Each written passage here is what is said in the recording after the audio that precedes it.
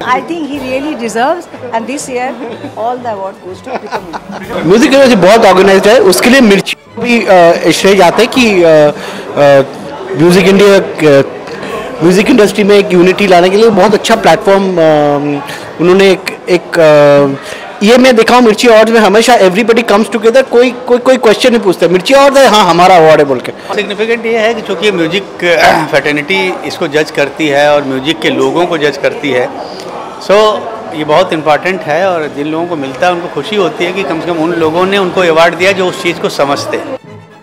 Award की value ये है कि ये अवार्ड कोई दूसरा नहीं देता है बल्कि वही लोग देते हैं जो इस काम के जानकार हैं जो म्यूज़िक डायरेक्टर्स हैं लिरिसिस्ट हैं सिंगर्स हैं पूरी जो जूरी है वो उन्हीं लोगों की है कोई और नहीं है।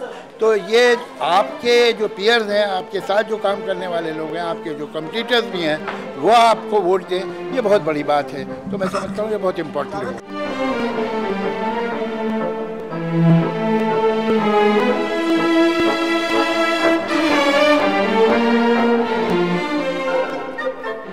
नहीं, ये सही है कि अब ज़रा बहुत अच्छी म्यूज़िक उतनी आसानी से नहीं मिलती थी फिफ्टी सिक्सटी सेवेंटीज़ में मिलती थी लेकिन फिर भी लोग बहुत अच्छा काम कर भी रहे हैं ऐसी बात नहीं।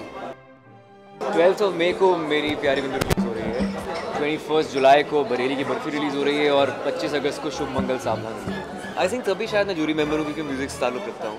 और काफ़ी इंटरेस्टिंग इस बार एल्बम्स आई हैं। सुल्तान से लेकर uh, उड़ता पंजाब और ए दिल है मुश्किल काफ़ी अच्छी एल्बम्स हैं। और इस बार सिंगर्स भी काफ़ी अच्छे हैं, अमित मिश्रा बुलिया काफ़ी अच्छा गाया है। पिंक में कारी कारी जो गाना है, वो गुलूची सिंगर है स्टूडियो में हम सुन चुके हैं उनको, वो बहुत अच्छी हैं। सो आई थिंक काफ़ी इंटरेस्टिंग टैलेंट है इसमें।